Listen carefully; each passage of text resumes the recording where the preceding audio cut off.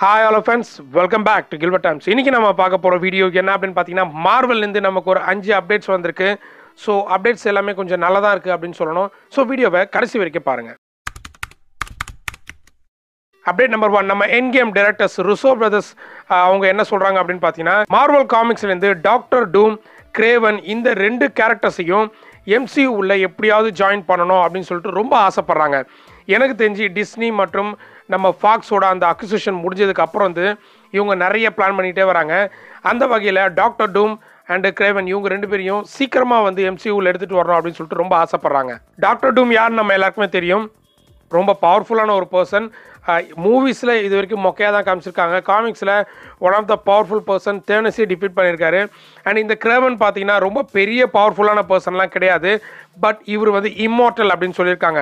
ஸ்பைடர்மேனால் மட்டும்தான் இவரை கொல்ல முடியுமா? வேறு யாராலையும் இவரை கொல்ல முடியாது அப்படின்னு சொல்லியிருக்காங்க. அப்டேட் நம்பர் டூ நம்ம மார்வலில் புதுசாக ஒரு சூப்பர் ஹீரோவை இன்ட்ரடியூஸ் பண்ண போகிறாங்க ரொம்பவும் பவர்ஃபுல்லான சூப்பர் ஹீரோங்க மார்வலோட West Coast Avengers volume three காமிக்ஸில் பார்த்தீங்கன்னா ரமோன் வாட்ஸ் அப்படின்னு சொல்லிட்டு ஒரு புது சூப்பர் ஹீரோவை இவங்க வந்து இன்ட்ரடியூஸ் பண்ணியிருக்காங்க. நியூ அவெஞ்சர் அப்படின்னு சொல்லியிருக்காங்க. இவங்க புதுசாக பிறந்து வந்திருக்காங்க. இவங்களை வந்து அலாய் அப்படின்னு கூட கூப்பிடுவாங்க. இவங்களோட பவர் என்ன அப்படின்னு பார்த்தீங்கன்னா இவங்க பிறக்கும் போதே வைப்ரேனியமோட பாண்ட் பண்ணி ஒரு வைப்ரேனியம் ரிங்கு இவங்க பாடியில் வந்து பாண்ட் பண்ணியிருக்காங்க. ஸோ இவங்களால ஒரு வெனம் மாரி ஒரு சூட்டை கிரியேட் பண்ண முடியும். லிவிங் சூட் ஆர்மர் அப்படின்னு சொல்லியிருக்காங்க. ஸோ இவங்கக்கிட்ட வெனமோட பவரும் இருக்குது அதே டைம் இவங்களால நம்ம வல்வரின் கிரியேட் பண்ணுற மாரி பிளேடும் வந்து கிரியேட் பண்ண முடியும். அதை வச்சு எனிமீஸை வந்து அட்டாக் பண்ண முடியும்னு சொல்லியிருக்காங்க. கிட்டத்தட்ட வெனம் அண்டு வல்வரின் ரெண்டு சேர்ந்த கலவை தான் இந்த ரெமோன் வாட்ஸ் அப்படின்னு சொல்லியிருக்காங்க. சீரியஸாக பவர் வேற லெவலில் இருக்குது இவங்க அவெஞ்சர்ஸ் உள்ள வந்தாங்கன்னா one of the most powerful Avenger இவங்க அப்படின்னே சொல்லலாம். அப்டேட் நம்பர் த்ரீ என்ன அப்படின்னு பார்த்தீங்கன்னா இந்த அவெஞ்சர்ஸ் என்கே மூவியோட ஸ்டோரி யாருக்கு தான் தெரியும்? யாருக்கு தான் ஸ்கிரிப்ட் எழுதி கொடுத்துருப்பாங்க? யார் தான் ஃபுல் ஸ்கிரிப்டை படிச்சிருப்பாங்க? அப்படின்னு சொல்லிட்டு நம்மளும் என்னென்னமோ செக் பண்ணி பார்த்துட்டோம். யாருமே வந்து வாயை திறக்கவே இல்லை. ஆனால் ருசோ பிரதர்ஸ் அவங்களே ரிவீல் பண்ணியிருக்காங்க. இந்த அவெஞ்சர்ஸ் என்கேமோட ஃபுல் ஸ்கிரிப்டும் பார்த்தீங்கன்னா ஒரே ஒரு அவெஞ்சருக்கு தான் நாங்கள் காமிச்சிருக்கோம். அவருக்கு மட்டும்தான் ஃபுல் ஸ்கிரிப்ட் தெரியும் அப்படின்னு சொல்லியிருக்காங்க. யாராக இருக்கணும்னு நினைக்கிறீங்க? எம்சியோட லீடிங் மேன் அப்படின்னு சொல்லப்படுற நம்ம ராபர்ட் டவுனி ஜேஆர் தாங்க. ராபர்ட் டவுனி ஜேஆருக்கு மட்டும்தான் அவெஞ்சர்ஸ் என் கேமோட ஃபுல் கதையும் தெரியுமா? ஃபுல் ஸ்கிரிப்ட் எழுதி அவர்கிட்ட கொடுத்துருக்காங்க. அவரும் ஃபுல்லாக படிச்சிருக்காரு.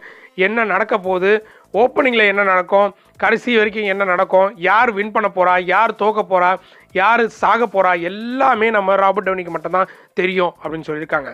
வேற லெவலில் அப்டேட் நம்பர் ஃபோர் நம்ம எக்ஸ்மேன் டீமில் ஜெகர்னட் வந்து ஜாயின் பண்ணுறாருங்க சொன்னால் நம்புவீங்களா?